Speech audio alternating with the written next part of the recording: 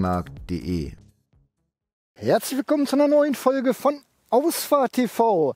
Und hier ist der Schlüssel zu unserem heutigen Testwagen. Das ist der 2020 Fiat Panda Citycross Hybrid in der Launch Edition.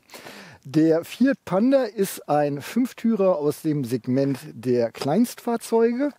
Und ich hätte drei Mitbewerber exemplarisch für euch. Das wäre einmal der Suzuki Ignis, der Kia Picanto und der Renault Twingo. Der Fiat Panda wurde im Spätsommer 2011 in Frankfurt erstmals vorgestellt. Er wird in Italien gebaut. Beim Euro NCRP Crashtest hat der Panda 2011 noch vier Sterne, 2015 drei Sterne und 2018 gar keinen Stern bekommen. Fiat bietet den Panda City Cross zu einem Basislistenpreis von 13.150 Euro an.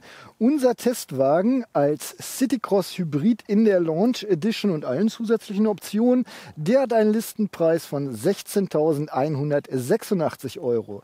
Ich habe das Auto wie immer für euch nachkonfiguriert. So viele Kon äh, Optionen sind es nicht. Trotzdem die Konfiguration findet ihr bei uns auf der Homepage. Den Link zur Homepage, den findet ihr unten im Videobeschreibungstext. Direkt darüber übrigens der Link zu unserem Partner leasingmarkt.de. Wenn ihr vorhabt, ein Auto zu leasen, egal ob Mercedes S-Klasse oder Fiat Panda, schaut einfach mal bei leasingmarkt.de vorbei. Die haben immer gute Leasingangebote, nicht nur für gewerbliche Kunden, sondern auch für private Kunden. Der 2020 Fiat Panda Citycross Hybrid hat einen Mildhybridantrieb. Unter der Haube findet sich erstmal ein 1 Liter Reihen Dreizylinder Sauger. Der leistet 70 PS und hat ein maximales Drehmoment von 92 Newtonmeter, welches bei 3500 Umdrehungen pro Minute anliegt. Der Motor verfügt zudem über einen Riemenstartergenerator mit einer Leistung von 3,6 kW, sprich fast 5 PS und dieser kann den Benziner um 20 Newtonmeter kurzfristig boosten. Als Energiespeicher dient eine 11 Ampere-Stunden große Lithium-Ionen-Batterie. Geschaltet wird mittels 6-Gang-Handschaltung. Der Testwagen hat Frontantrieb. Unser Testwagen beschleunigt von 0 auf 100 in 14,7 Sekunden. Die Höchstgeschwindigkeit liegt bei 155 km/h. Der Durchschnittsverbrauch laut Hersteller beträgt 3,9 Liter auf 100 Kilometer bei einem CO2-Ausstoß von 89 Gramm pro Kilometer. Das sind Neftswerte. WLTP 5,6 Liter bei 126 Gramm pro Kilometer. Vollbetankt mit 38 Litern Super kommt man im Idealfall 970 Kilometer Kilometer weit. Optional kann man den Fiat Panda City Cross auch noch mit zwei Benzinern, einer CNG und einer LPG-Version bestellen. Fiat hat uns den Panda City Cross Hybrid in der Launch Edition zur Verfügung gestellt. Die ist zeitlich limitiert für das Hybridmodell, denn der Motor ist ja relativ neu. Ähm, insgesamt bieten sie das Fahrzeug in vier Ausstattungslinien an. Unter anderem gibt es den Panda auch immer noch als Allradversion, dann aber nicht in Kombination mit dem Hybridantrieb. Der Wagen kommt immer mit Halogenscheinwerfern, wie auch hier bei uns zu sehen. Wir haben dann aber auch noch Nebelscheinwerfer. In der Basis steht der Fiat Panda City Cross auf 14 Zoll Stahlfelgen. Zu unserer Ausstattungslinie gehören aber diese 15 Zoll Alufelgen. Ich habe eben ausgemessen, die Bodenfreiheit gebe ich mit 17 Zentimetern an. Ähm, das Fahrzeug ist hier in dem Farbton Taugrün Metallic lackiert und das ist eine von fünf Farben, mit denen ihr euch den Panda City Cross Hybrid konfigurieren könnt. So hört er sich an, der 1 Liter Dreizylinder Sauger hier im Fiat Panda, weil die Elektrounterstützung kann man ja nicht hören. Ne? Genau, der Auspuff ist übrigens hier links hinter dem Stoßfänger äh, versteckt und ich spiele derweil mit der lustigen Lichtorgel alle Lampen einmal in Wallung gebracht und ihr seht selber, da ist kein LED verbaut, sondern das sind alles noch herkömmliche Glühbirnchen. Mit dem Schlüssel der Funkfernbedienung kann ich das Auto aus der Ferne fair und entriegeln. Ich brauche die Funkfernbedienung auch, denn es gibt kein Keyless Entry und ähm, die Fenster lassen sich auch nicht aus der Ferne steuern. Dafür habe ich einen relativ großzügigen Einstieg und der ist ja so leicht SUV angehaucht, der Kleinstwagen. Ich habe auch einen sehr bequemen Einstieg. Ja, herzlich willkommen im Innenraum hier vom Panda City Cross Hybrid. In der Launch Edition. Nicht alles, was hier zu sehen ist, äh, gehört schon zur Serienausstattung. Äh, ein paar Konfigurationspunkte gibt es. Schaut einfach auf unserer Homepage nach, die ist äh, unten verlinkt. Da findet ihr dann äh, die Konfiguration des Fahrzeugs. Ich fange jetzt gleich an mit dem Materialcheck. Wir haben hier äh, einen harten Kunststoff als Oberfläche, äh, dann ein lackiertes Teil, was sich hier rund umzieht und äh, auch das ist harter Kunststoff.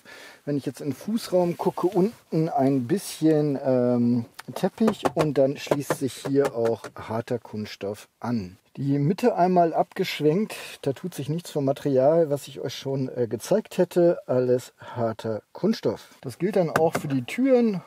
Da haben wir harten Kunststoff als Außenmaterial. Hier dann ein Hauch von Kunstleder und im unteren Bereich ebenfalls harter Kunststoff. Was man dann auch hier bei der A-Säule sieht, der Himmel ist mit dem Stoff bezogen, darunter spüre ich aber auch gleich die Dachpappe. Ja, Fiat bezweckt ja mit dem Panda vor allen Dingen eins, sie wollen ein äh, preiswertes Fahrzeug anbieten, somit gibt es hier auch preiswerte Materialien, äh, das Ganze aufgewertet durch hier dieses Formteil, was dann in Außenfarbe lackiert wird. Äh, wenn man wenig Geld ausgibt, bekommt man halt wenig Leistung, so ist es nun. Dann machen wir gleich weiter mit der Ergonomie. Dafür starte ich das Fahrzeug einmal. Dafür brauche ich tatsächlich den Schlüssel. Wir haben hier im oberen Bereich zwei Lüftungsdüsen. Da pustet es jetzt auch ordentlich raus. In der Mitte zwei Drehregler, über die ich, die ich den Luftstrom steuern kann. Und die Düsen kann ich frei verstellen. Das gilt im Übrigen auch für die äußeren Lüftungsdüsen, frei verstellbar und ein Drehrad für den Luftstrom. Darunter findet sich das Infotainment-System, im Prinzip erstmal nur dieser Block hier ähm, einem Lautstärkeregler und einem ja, so, sogenannten Jog-Shuttle, mit dem ich hier äh, diverse Sachen einstellen kann. Das ist die Einheit vom Uconnect. Darunter dann nochmal eine Schalterleiste, unter anderem hier äh, City-Mode von der Lenkung an- und ausstellen. Ich kann hier die ähm, Leuchthöhe der Scheinwerfer regulieren. Da ist der Warnblinkschalter schön rot, kann man gut erkennen, auch mittig zentral angebracht. Nebelschlussleuchten und Nebelscheinwerfer, die Heckscheibenheizung bzw. die Lüftung vorne über einen Knopf und Start-Stopp kann ich hier auch noch regulieren. Dann, äh, es gibt hier auch eine Klimaanlage in dem Fahrzeug, eine Ein-Zonen-Klimaanlage. Ich kann die ähm, Temperatur halt einstellen, die Lüftung. Das Ganze gibt es aber auch mit dem Autoprogramm und die anderen notwendigen Schaltflächen. Vor dem Gangwallhebel dann die beiden elektrischen Fensterheber. Es gibt nur vorne Fensterheber elektrisch, hinten mit Kurbeln ist das Ganze gelöst.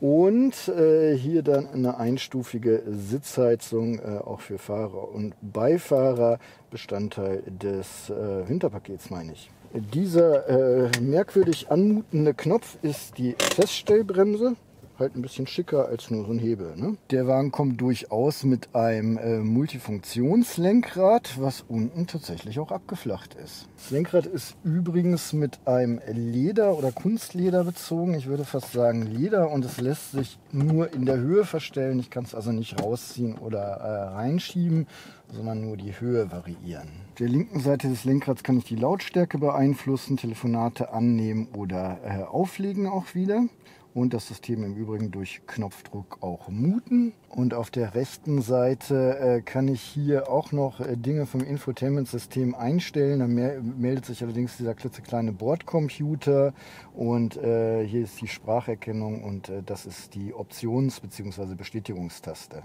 An der Lenksäule rechts befindet sich der Scheibenwischerschalter. Wir haben Scheibenwischer vorne und hinten und hier habe ich einen Taster, um nochmal durch den Bordcomputer durchzuschalten. Ja, rechts ist relativ simpel gehalten. Blinker, man kennt es, ne? Lichthupe und Fernlicht kann ich hier auch noch schalten. Ne? Ähm, und dazu das Licht an- und ausschalten. Und hier außen habe ich noch einen Knopf für die Spiegelverstellung. Da kann ich die Spiegel links und rechts einstellen, aber nicht irgendwie äh, anklappen lassen. Ja, da bin ich auch schon durch, kann den Motor mal wieder ausschalten. Ich presse mich mal in den Sitz. Ich bin 1,80 Meter groß. Zwischen meinem Kopf und den Himmel passt noch eine aufgestellte Faust. Das ist also genug Platz, auch zur Seite. Zwischen den Sitzen gut 15 cm. Wir sind ja im Kleinstwagensegment unterwegs. Das ist eigentlich ein vertretbarer Wert, ähm, weil äh, teilweise Kleinwagen auch nicht weiter die Sitze auseinander haben. Ich bin zugegebenermaßen das Auto nur alleine gefahren, äh, merke aber schon, hier ist jetzt nicht so viel Platz zum Nebenmann, aber äh, wenn man sich nicht gerade äh, breit macht, dann kommt man hier auch mit zwei Erwachsenen sehr gut aus. Mal äh, der Bezug der Sitze ist aus hundertprozentigem Recyclingmaterial, dazu noch 10% aus dem sogenannten Sequal-Projekt. Das heißt, äh, 10% des Plastiks, was hier verwendet worden ist, ist aus dem Meer gefischt worden. Gut, äh, die Sitze sind manuell zu verstellen. Ähm, man kommt auch so eigentlich ganz bequem daran. Äh, der Fahrersitz ist höhenverstellbar, der Beifahrersitz allerdings nicht. Für die Lehne habe ich hier äh, ein Hebelchen, damit kann ich mir die Lehne halt äh, aufrechter einstellen, wenn ich möchte. Und dazu kann ich den Sitz natürlich noch nach hinten und auch ganz nach vorne rücken. So, ein bisschen weiter nach vorne kann ich. Und das ist dann wieder die Sitzposition, die ich habe. Die Sitze sind durchaus bequem. Ich denke, mit dem Panda wird man ja hauptsächlich kürzere, äh, kürzere Strecken fahren, aber auch äh, eine Stunde äh, und mehr kann man hier ganz entspannt drin sitzen, zumal sie auch einen Hauch von Seitenhalt im oberen Bereich bieten. Gut, dann starte ich den Motor nochmal hier für die große Lichtorgel. Wir haben also zwei Rundinstrumente in so Tuben untergebracht. Äh, einmal der äh, Tachometer auf der einen Seite und der Drehzahlmesser dann auf der rechten Seite. Äh, zwischendrin äh, der Bordcomputer bzw. generell die Anzeige. Man sieht mittig die Uhrzeit und die Außentemperatur, die Rückmeldung der Gurte. Das Auto ist jetzt 8456 Kilometer bewegt worden. Es ist fast vollgetankt. Im oberen Bereich äh, der Energiehaushalt äh, der Batterie ähm, ja, ist nahezu runter. Und ganz oben, äh, das ist die äh, Zeile für den Bordcomputer. Computer. Und wenn ich jetzt hier am Schalter durchtippe, dann sagt er mir immer erst, was es ist, Kühltemperatur und dann zeigt er sie mir an, Fahrstrecke B und dann zeigt er sie mir an, Durchschnittsverbrauch B angezeigt. Man muss also drücken und dann immer ein bisschen warten, bis der jeweilige Wert kommt. Und wenn man den Wert nicht sehen will, dann kann man ähm, das Ganze einfach äh, durchschalten. Aber ich nehme jetzt ruhig mal jeden Punkt mit damit ihr es wenigstens einmal gesehen habt. Ist so ein bisschen umständlich. Okay, jetzt kommt aber nur noch Fahrstrecke, also das Ganze in B nochmal. Da war momentan Verbrauch. Und ja, damit sind wir dann einmal durch, durch den Bordcomputer. Kann ich gleich den Schulterblick anschließen. An der B-Säule kann man gut vorbeisehen. Auch an den beiden A-Säulen, auch wenn hier natürlich schon ein Block ist. Ähm, ja, der ein bisschen breiter ist. Da seid ihr B-Säule okay, C-Säule okay und auch hinter der D-Säule kann sich nicht wirklich jemand verstecken. Da hinten ist das Fahrzeug dann auch schon wieder vorbei, äh, vorbei zu Ende. Also ist es auch schön übersichtlich. Die Spiegel sind zudem äh, schön groß geformt zumindest für so ein Kleinstfahrzeug, bieten eine gute Sicht nach hinten und ja fast quadratisch praktisch. Da hat man wirklich also nach hinten eine gute Sicht. Und auch mit einem Blick kann ich die komplette Heckscheibe erfassen. Die ist jetzt auch nicht so wahnsinnig groß, der Spiegel halt auch nicht, aber mit den drei Spiegeln hat man wirklich eine gute Sicht nach hinten. Ja, eine Rückfahrkamera gibt es nichts, äh, nicht und ähm, somit bin ich auch schon durch. Ne? Geht ganz schön schnell. Eine Hupe hat der Wagen aber und so hört sie sich an.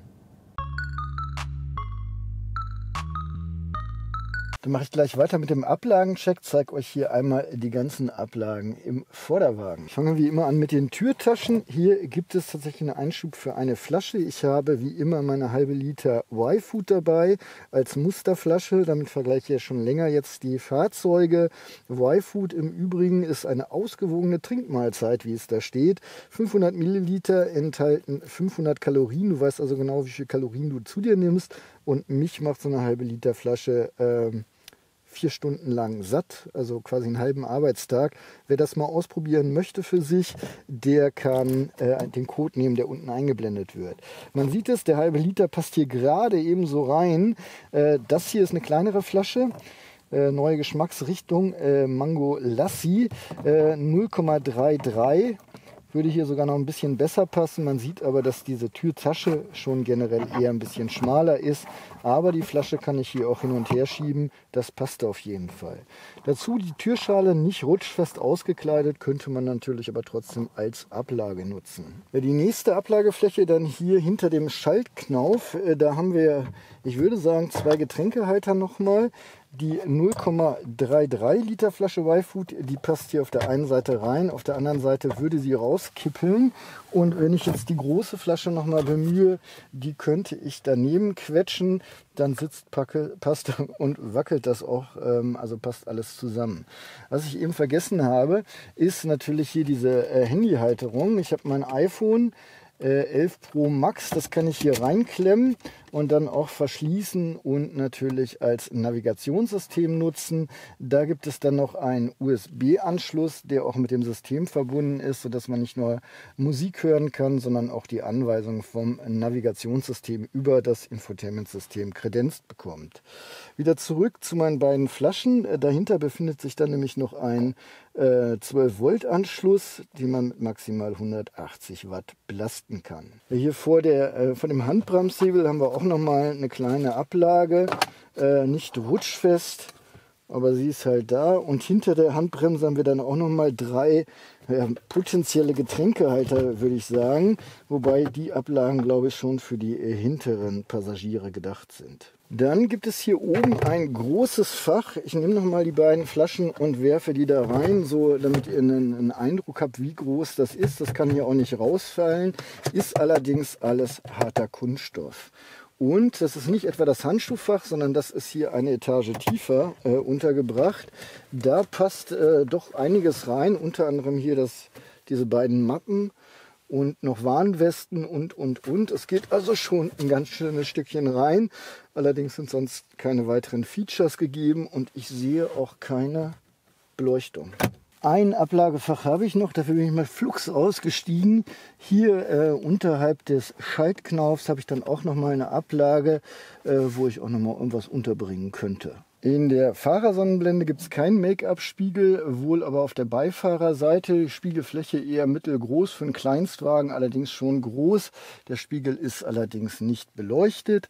Äh, an beiden Seiten haben wir so Gummilaschen, da könnte ich also die Rettungskarte einklemmen oder ein Parkticket. Ich kann das Ganze auch zur Seite drehen, allerdings nicht nach hinten ziehen, sodass wir hier zwei Hände breit Platz haben, wo dann noch die Sonne einfallen kann. An der Fahrerseite gibt es noch ein Brillenfach statt Haltegriff. An den anderen drei Türen dann entsprechende Haltegriffe. Ja, Leselampen gibt es nicht. Das ist hier quasi äh, die einzige Lampe, Beleuchtung, äh, Einstiegsbeleuchtung ja, und gleichzeitig Leselampe. Ja, grundsätzlich ist die ganze Ausstattung schon ein bisschen rudimentärer behalten. Was mich aber positiv überrascht hat, sind die zahlreichen und großzügigen Ablageflächen. Also gefühlt hat man hier im Panda mehr Platz als in so manchem äh, kompakten. Gut, jetzt möchte ich euch noch einmal das Infotainment-System kurz zeigen, äh, zumindest rudimentär. Äh, so viele Funktionen gibt es ja nicht. Ich, ich verschaffe euch mal einen Überblick. Das will ich sagen. Das Auto jetzt nochmal gestartet, äh, damit wir hier dauerhaft auch Strom auf dem System haben. Ich kann das System also an- und ausstellen. Wenn ich im Radiobetrieb bin, sieht das Ganze so aus. Äh, da habe ich hier sechs äh, Kurzwahltasten für irgendwelche Sender. Also wenn ich hier Radio mehrfach drücke, dann kann ich wählen zwischen DAB, FM und AM. Gehen wir mal zurück auf DAB. Jetzt äh, habe ich die Möglichkeit, hier einfach äh, durch die Senderliste zu skippen. Also alle Sender, die ihr gerade so findet. Und wenn ich jetzt Planet haben will, dann kann ich den auf der 3 einfach speichern. Bung, da ist das Signal. Und wenn ich jetzt weiter schiebe und nochmal auf die 3 gehe, dann hat er den gefunden. ABC, das sind äh, unterschiedliche Presets, die ich anwählen kann. Also kann ich hier die sechs Tasten äh, dreifach belegen. Das gleiche gilt dann halt auch für FM oder äh, AM. Also das ist einfach nur eine Erweiterung der ähm, Speicherplätze, die ich hier habe. Gut, es gibt auch ein Menü. Dadurch kann ich dann hier einfach mit diesem äh, Jog Shuttle durchschalten, verschiedene Sachen einstellen, wenn ich denn möchte. Und äh, wenn ich irgendwas verändern möchte, dann äh, drücke ich hier rechts, links. Ein Klangmenü gibt es auch noch. Na? Den Bass nehmen wir mal raus. Auch die Höhen nehmen wir raus. Balance lassen wir. Lautness bleibt off. Equalizer auch off. Und das sind die Einstellungen, die ich hier habe. Dazu habe ich noch hier die Media-Taste. Dann erkennt er Media USB, also mein Telefon, und spielt jetzt da quasi meine Playlist, die ich eingestellt habe. Wenn ich das richtig verorte, haben wir nur im oberen Bereich äh, Lautsprecher in den Türen und hier oben Tweeter. Äh, die sorgen dafür, dass man hier vorne äh, ordentlich beschallt wird, zumindest von der Lautstärke her, was die Klangqualität angeht. Solange man leise Musik hört, hört sich das System wirklich gar nicht schlecht an, hat, bringt auch so ein bisschen Bass mit. Wenn man es dann allerdings lauter stellt, äh, dann werden Mitten und Höhen verzehrt und es macht dann nicht mehr ganz so viel Spaß. Ja, wenn man sich den Kleinstwagen anguckt, man erwartet ja keine Platzwunder hier hinten auf der Rücksitzbank. Trotzdem steige ich natürlich einmal für euch ein, zeige euch das Platzangebot und auch die Ausstattung hier hinten. Erstmal wird eingestiegen. Natürlich muss ich den Kopf einziehen und merke schon, mit der Beinfreiheit ist es nicht ganz so weit bestellt. Ja, und so sieht's aus, wenn ich hier hinten sitze. Hinter mir, der Fahrersitz ist immer noch auf mich eingestellt. Ich bin ja 1,80 Meter groß.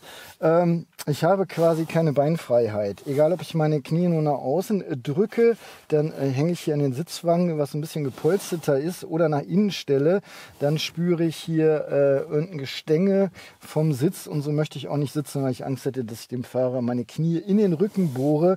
Also dann äh, doch eher so. Ich kann meine Füße auch nicht unter den Fahrersitz Fahrersitz schieben, gar nicht von der Höhe her, sondern da ist, glaube ich, äh, eine Lüftungsdüse, die dann hier nach hinten noch Luft trägt. Äh, wenn ich meinen Kopf zur Seite drehe, dann stoße ich nicht gleich an den Dachräumen und hier zwischen meinem Kopf und den Himmel passen ungefähr noch zwei flache Hände. Äh, ich komme aber gut an die Kopfstützen dran. Ja, erstmal fühle ich mich aber hier schon ein bisschen beengter. Dann schauen wir einmal auf die Ausstattung. Hier in der Türtasche ist so ein schmaler Schlitz. Da kann ich eine Kleinigkeit ablegen wie ein Portemonnaie. Hier auch wieder so eine Griffschale. Auch hier könnte ich noch was reinlegen, wenn ich denn möchte. Elektrische Fensterheber hinten gibt es bei unserem Testwagen nicht, sondern lustige Kurbeln. Und wenn ich diese Kurbel nutze, liebe Kinder, dann kann ich die Scheibe ganz alleine hoch und runter fahren. Allerdings, ich fahre sie noch mal runter. Und man sieht es hier, glaube ich, ganz gut. Also ja, fast die Hälfte der Scheibe bleibt stehen. Weiter runter bekomme ich sie also leider nicht. Im oberen Bereich habe ich einen Haltegriff und daran äh, angebracht auch nochmal ein kleiner Kleiderhaken. Ja, an den Rückseiten der Vordersitze gibt es nichts zu bestaunen. Äh, dafür hier die eben schon erwähnten äh, Einschübe. Also den halben Liter Y-Food bekomme ich in den hinteren aber auch in den vorderen Sitzpast wackelt und sogar den könnte ich noch einmal nehmen. Also drei halbe Liter kann man hier unterbringen. Die 0,33 Liter Flasche wackelt hier ein bisschen, wird aber wahrscheinlich, wenn der Fahrer nicht zu wild fährt, auch so halten. Ja, und äh, damit sind wir auch schon durch. Hier hinten eine Beleuchtung gibt es nicht. Ähm, ich sitze ja hier hinter dem Fahrer ähm, bin noch weit über diesem äh, farbigen Bereich. Das heißt, äh, so viel Platz hätte eine Person, die zwischen zwei Jans sitzen würden, würde. Also hier hinten äh, wirklich nur Platz für drei zierliche Personen oder halt zwei normal gebaute Erwachsene. Die Gurtlänge hier hinten ja, sollte gerade eben ausreichen, um Kindersitze und Babyschalen anzuschnallen. Äh, die Türöffnung, allein weil das Auto schon nicht so groß ist, ist jetzt auch nicht so wahnsinnig groß. Also wenn man einen größeren Kindersitz einladen möchte, dann muss man den entsprechend verkanten. Die Isofix-Halterungen befinden sich hier einfach zwischen den Polstern. Und die Gurtpeitschen sind leider loser Natur. Die sind ein bisschen fester, sodass Kinder wahrscheinlich auch Probleme haben, sich selbstständig anzuschnallen. Also kleinere Kinder. Der Gurt für den mittleren Sitzplatz, der ist hier hinten angebracht und dann über Magneten entsprechend fixiert. Wir haben keine äh, Isofix-Halterung auf dem Beifahrersitz. Äh, den Beifahrer-Airbag kann ich aber über das Menü vorne am System abstellen. Um den Kofferraum zu öffnen, habe ich hier einen Taster unterhalb der Kennzeichenleuchte oder auf Höhe der Kennzeichenleuchte. Ähm, wenn das Fahrzeug verriegelt ist, dann kann ich auch den Drücker nutzen auf dem äh, Schlüssel. Dann wird die Klappe entriegelt, das restliche Auto bleibt aber verschlossen. Und die Klappe öffnet sich hier mit Hilfe der Gasdruckdämpfer. In den Kofferraum vom 2020 Fiat Panda Citycross Hybrid passen 225 Liter. Bei umgeklappter Rücksitzbank sind es 870 Liter. Dann werfen wir nochmal einen Blick in den Kofferraum rein. Erstmal hier Verbandstasche ist die Verbandstasche natürlich ist mit Klettverschlüssen versehen und auf der anderen Seite haben wir das Bordmaterial ebenfalls äh, in also ein Wagenheber ist hier ein bisschen Werkzeug ebenfalls mit Klett am äh, Unterboden festgemacht. Diesen kann ich auch nochmal anheben. Das ist hier aber wirklich nur so eine Presspappe-Mappe. Und da unten haben wir dann noch ein Notrad bis 80 km/h ist es zugelassen. An der linken Seite gibt es dann noch eine Kofferraumbeleuchtung und an der rechten Seite einen Taschenhaken. Die Hutablage hat hier feste Scharniere und auch oben kann ich so einen Nippel aushängen. Ja, die Hutablage selber sowohl oben, ne, unten ist nur noch Presspappe und oben ist es wohl mit Filz besprüht. Gebühren im Abstand zur Stoßstange komme ich hier locker an die Entriegelung der Sitze. 40 Prozent fallen rechts, 60 Prozent dann links. Und hier gibt es aber natürlich eine richtige Stufe, so fast auf der Höhe äh, der der Ladekante. 380 Kilogramm darf ich zuladen hier bei unserem Testwagen. Davon 55 Kilogramm auf die Dachreling schnallen. Äh, ein Anhängerbetrieb ist bei dem Fahrzeug nicht vorgesehen. Herzlich willkommen zu meinem Fahreindruck hier mit dem Fiat Panda City Cross. Ich bin nicht in Bielefeld unterwegs, sondern im Frankfurter Großraum und ich drehe jetzt hier mal, das ist natürlich deutlich enger als das, was ich auf der Kraxer Straße habe, schummelt aber so ein bisschen nach hinten. Und äh, kann aber schon mal sagen, die Servo-Unterstützung ist wirklich nett. Ich hätte hier sonst auch noch dieses, äh, ah, nee, die habe ich sogar aktiviert, die City-Servo-Unterstützung. Dann ist die Servolenkung, glaube ich, noch ein bisschen stärker unterstützt. Ähm, Ja, wir haben einen Wendekreis von 9,7 Meter. Das Auto ist also richtig schön wendig äh, und einfach auch zu rangieren. Eine Lenkradumdrehung und eine halbe. Das sind aber trotzdem drei Lenkradumdrehungen von Lenkanschlag zu Lenkanschlag. Wo es hier so ein bisschen schattig ist, ich weiß nicht, ob ihr es sehen könnt, aber das, was ihr an weißen Schaltern seht, die sind äh, hintergrundbeleuchtet, äh, schimmern so leicht äh, orange-rot. Ähm, kann man also auch in der Nacht gut ablesen. Von hinten kommt gerade nichts, dann kann ich hier mal einen Sprint von 0 auf 100 mal erledigen.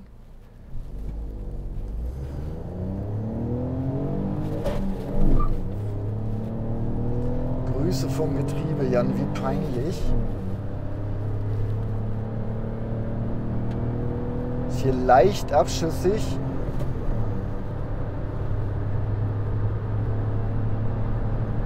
Und dann habe ich die 100 auch schon erreicht unter Laborbedingungen von 0 auf 100 in 14,7 Sekunden. Und ja, das Getriebe hat eben einmal geknarzt. Es tut mir auch leid und es ist mir wahnsinnig peinlich. Aber ich habe nicht so die Möglichkeiten, das jetzt hier öfter zu wiederholen. Ich äh, finde die Schaltung aber gar nicht schlecht. Erstmal bemerkenswert, in so einem kleinen Wagen für den Preis eine Sechsgang-Schaltung, also sowohl äh, wirklich einen sechsten Gang, wobei der sechste Gang meines Erachtens eher so ein lang übersetzter Spritspargang ist. Ähm, den nutzt man dann, ja, aber auch schon ab 60 km/h kann man mit dem eigentlich prima unterwegs sein. Ich habe übrigens hier die, die ähm, das Handy mitlaufen und die GoPro auch auf dem Tacho, aber ich kann den Tacho da nicht so gut ablesen, wenn die GoPro drauf steht. Und die GoPro muss sich so setzen, ihr seht den Drehzahlmesser leider nicht, weil äh, das so Tuben sind und da sieht man gar nichts mit der GoPro. Die müsste dann quasi hier sitzen und das kriege ich halt nicht hin. Das Fahrzeug hat also einen Mildhybridantrieb, äh, soll heißen, wir haben hier einen 70 PS starken, äh, 1 Liter rein Dreizylinder ohne Turboaufladung am Start. Und äh, der wird von einem Riemen-Startergenerator angetrieben, der nochmal eine Leistung von 3,6 kW hat. Der kann den Motor ein bisschen boosten mit 20 Newtonmeter. Davon merke ich persönlich nichts. Ähm, und wenn man auskuppelt, dann äh, segelt das Fahrzeug bei Geschwindigkeiten unterhalb von 30 km/h. Auch das habe ich während meiner Probefahrt jetzt nicht wirklich aktiv erlebt. Ich wüsste aber auch nicht, wie sich das dann anfühlen soll. Ähm, ich kann euch sagen, dass äh, wir zwar nur ein Leergewicht von einer Tonne hier mit uns mitführen, der Wagen sich aber trotzdem nicht wirklich spritzig anfühlt. Er ist eher für die gemütliche Fahrweise und ich erwische mich auch immer dabei, dass ich selbst auf einer ähm, Landstraße oder Bundesstraße, wo ich 100 fahren kann, dann eher so mit äh, 80 rumbummel im sechsten Gang. Äh, weil wenn man ein bisschen vom Gas geht, dann äh, verliert man halt an Geschwindigkeit und es fühlt sich dann irgendwie ganz richtig an mit 80. Ich weiß auch nicht. Was mich durchaus überzeugt hat bei dem Fahrzeug, ist einmal die Kombination Sitze und Fahrwerk. Bei preiswerten Fahrzeugen hat man ja oft äh, die Bedenken, dass die Sitze da nicht ganz so gut sind. Die haben also hier nicht nur die äh, wahnsinnig umweltfreundlichen Sitzbezüge, sondern sind auch noch ganz bequem. Ich bin gestern eine Stunde mit dem Auto gefahren am Stück, heute äh, auch schon wieder. Und äh, auf die Sitze will ich wirklich gar nichts kommen lassen. Die sind zwar von den Einstellungsmöglichkeiten jetzt hier nicht so wahnsinnig komfortabel, aber äh, rein vom Sitzkomfort ist das voll in Ordnung. Und auch das Fahrwerk gefällt mir sehr gut. Ist eine gute Abstimmung zwischen ähm, einem komfortablen Fahrwerk, was hier den schlechten Weg äh, so ein bisschen ebnet. Äh, trotzdem äh, kann man, also ich werde jetzt nicht sagen sportlich fahren, aber wenn man schneller fährt, merkst du, dass das Auto das halt auch alles mitmacht. Wobei schneller, sage ich jetzt mal, in so Geschwindigkeiten zwischen 100 und 150 km/h.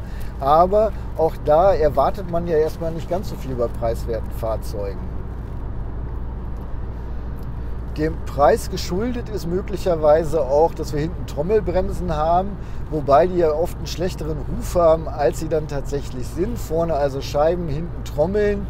Wir haben aber auch nur ein Leergewicht von einer Tonne und äh, diese Tonne beherrschen die Bremsen hier ganz entspannt. Die Bremse hat auch einen schönen Druckpunkt und äh, lässt sich gut dosieren. Ja, und jetzt ist genau das äh, mal hier schön eingetreten. Es geht leicht berghoch. Ich bin im sechsten gefühlt, meine Gaspedalstellung ist so geblieben, aber er verliert jetzt natürlich deutlich an Geschwindigkeit und dann darf man ruhig mal bis in vierten runterschalten und auch da stehe ich jetzt mit dem Fuß auf dem Bodenblech. Man muss halt ein bisschen Geduld mitbringen, wenn man das Auto fährt. Aber auch da gibt es ja genug Anwendungszwecke, wo das passt. Und ich denke mal, gerade im Hauptabsatzgebiet in Italien äh, macht das alles nicht ganz so viel aus. Nur wir Deutschen sind ja bislang noch so fixiert auf Geschwindigkeit und Sportlichkeit. Noch einmal kurz zurück zum Hybridantrieb. Wir haben ja eine 11 äh, Ampere-Stunden Batterie, äh, die diese Leistung nochmal zwischenspeichern kann, separat von der normalen Starterbatterie, sage ich mal. Und ähm, als ich losgefahren bin, war die ziemlich leer. Ich habe ja hier auch so eine, so eine Akkuanzeige und äh, bin dann hin und her und merkte, dass die sich bei äh, defensiver Fahrweise doch durchaus auflädt. Und äh, dann bin ich einen längeren Berg runtergefahren und äh, zickzack war die ganze Batterie schon wieder voll und ich konnte dann anschließend im urbanen Umfeld wohl davon profitieren, ähm, äh, dass der Motor geboostet wurde bzw. entlastet wurde durch den Startergenerator, denn dann ist der Verbrauch relativ schnell nach unten gegangen. Ja, geht auf die Autobahn, vor mir leider ein Laster, sodass ich hier keine, durch die Kurve nicht durchbeschleunigen kann. Ich versuche aber mal hier das Auto jetzt in Wallung zu bringen, weil das hier einigermaßen eben ist und dazu noch unbeschränkt. Drehe jetzt bei 6000 Umdrehungen, dann wird auch mal geschaltet.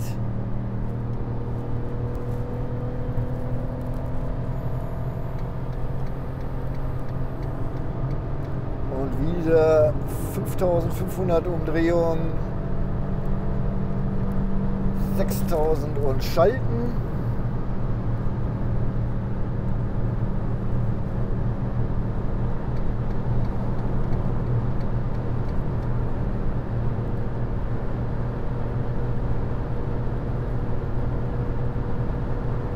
Ja, und trotz gerader Strecke mag er jetzt nicht so wirklich aus dem Quark kommen drehe bei 5000 Umdrehungen. Ich brauche jetzt, glaube ich, tatsächlich hier den Schwung runter.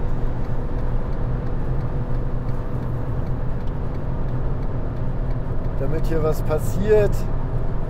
Aber immerhin 155 Höchstgeschwindigkeit äh, laut GPS haben wir erreicht. Dann habt ihr mal so ein Gefühl, äh, wie das sich hier verhält mit der Geschwindigkeitsentfaltung hier im Fiat Panda Citycross Hybrid. Ich kann die Geschwindigkeit mal ein bisschen rausnehmen. Bin jetzt im sechsten Gang, äh, gut 100 km/h, 110 laut Tacho und äh, der Wagen dreht bei etwas vor 3000 Umdrehungen. Leichte Windgeräusche höre ich schon, aber äh, der Motor meldet sich zumindest nicht akustisch. Und äh, wenn mich hier so ein Auto überholt, also die Geräusche von draußen kommen auch ganz gut rein. 120 dann bei 3300 Umdrehungen, 130 laut Tacho im Übrigen. Ähm, ja, die Windgeräusche sind dezent lauter geworden. Ich hebe auch schon so langsam meine Stimme. Der Motor kommt jetzt auch langsam zum Tragen. Und diese ganze Geräuschkulisse ist schon ein bisschen lauter, aber jetzt auch noch nicht störend laut. 140 jetzt bei knapp 4000 äh, Umdrehungen, 3,839. Die Windgeräusche sind nochmal lauter geworden, tragen jetzt aber das Motorengeräusch hinfort. Und ähm, ja, meine Stimme hebe ich ein bisschen weiterhin, aber so könnte man auch länger fahren, allerdings kann man hier bergauf, bergab die Geschwindigkeit nicht so gut halten. Schon gar nicht im sechsten.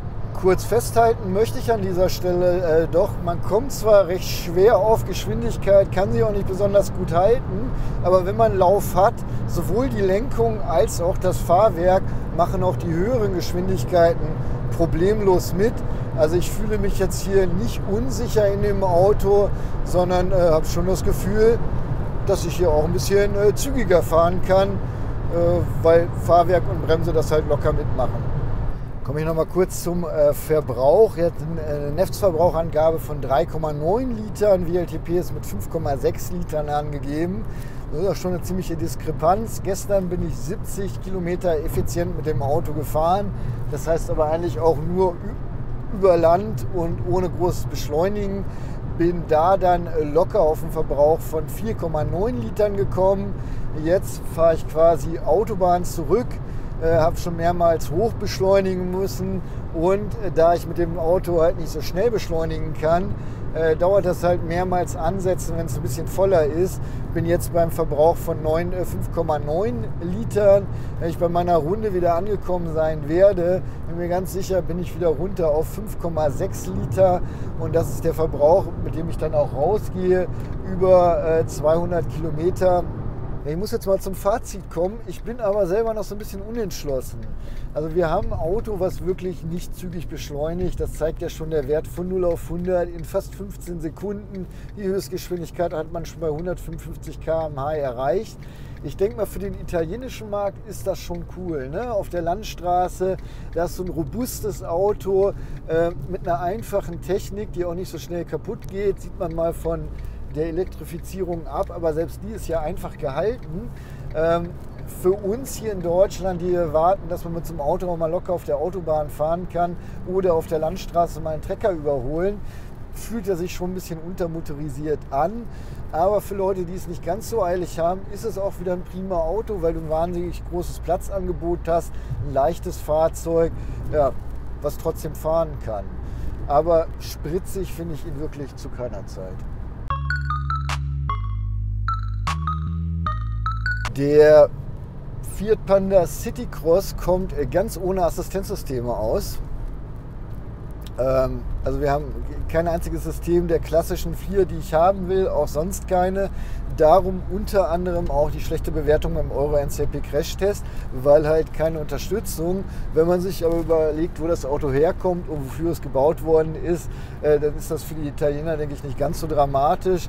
Äh, bei uns äh, Deutschen, äh, wir werden natürlich sofort hellhörig. Ja, Kinder, das war's auch schon wieder. Das war unsere Videokaufberatung zum Fiat Panda City Cross Hybrid in der Launch Edition sind wir ihn gefahren. Und äh, zum Ende meiner Videokaufberatung immer zwei Punkte, die mir negativ aufgefallen sind. Das eine ist natürlich ganz klar eine Null-Sterne-Bewertung beim Euro NCRP Crash-Test. Das schockt erstmal, ne? Da weißt du gar nicht, willst du da einsteigen und mit deinen Kindern äh, äh, schon gar nicht. Aber wenn du das Auto mal gefahren bist, auch wenn du dir diese Crashtest-Bewertung anguckst, warum, wieso, weshalb, da kann man schon sagen, nein, kann man schon kaufen. Ne? Äh, und der zweite Punkt ist, äh, dass der halt mit Spritzigkeit so gar nichts zu tun hat. Ne? Das ist eher gemütlich, auch in den unteren Gängen. Und äh, ja, somit kommt man nicht ganz so flott vom Fleck, wie man sich das vielleicht manchmal wünscht. Zwei positive Punkte, zwei Punkte, die mir gut gefallen haben. Wenn man sich das Auto wirklich mal genauer anguckt, ist es sehr einfach gehalten und einfach ist halt auch preiswert in der Wartung. Ne? Wo nicht viel dran ist, kann nicht viel kaputt gehen. Und wenn du ein äh, schmales Budget hast, dann ist so ein Auto natürlich genau richtig, statt irgendwas mit Turboladern und hier noch was und da noch was, wo du dann immer wieder schön schucken kannst, wenn das Auto ein paar Tage älter ist. Und äh, der zweite Punkt, wir reden ja hier über ein Kleinstfahrzeug, der Kofferraum, gerade die Höhe. Das ist schon ziemlich spannend und da bekommst du dann schon äh, lustige Sachen auch rein und ähm, ja, das soll es auch schon gewesen sein. Gut, ich kann mir in etwa die ersten Kommentare schon vorstellen. Trotzdem, ich bin sehr gespannt, ähm, was ihr so sagt zu dem Fahrzeug. Schreibt es mir bitte unten in die Kommentare. Meine Meinung, die veröffentliche ich auf Ausfahrt TV Plus nochmal. Da erzähle ich noch ein bisschen mehr zu dem Auto, zu dem Bewertungsprinzip, was wir hier gerade eingeblendet haben warum ich das Auto so bewertet habe. Ich lade euch herzlich ein, auch dieses Video anzugucken. Es ist unten im Videobeschreibungstext verlinkt. Ja, über ein Like freuen sich der Alex und ich auch, wie Bolle. Der Alex steht wie immer hinter der Kamera. Und ich verabschiede mich jetzt. Bleibt gesund da draußen ne?